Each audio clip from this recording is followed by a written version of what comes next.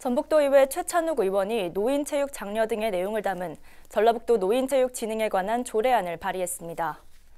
조례안에는 노인체육활동 장려와 진흥을 위한 도지사의 책무를 규정하고 노인체육 지도자 육성, 노인체육시설 확충 등 노인체육 진흥 사업을 추진할 수 있는 근거 규정들을 담고 있습니다. 한편 조례안은 오는 19일 개회하는 도의회 제380회 임시회에서 처리될 예정입니다.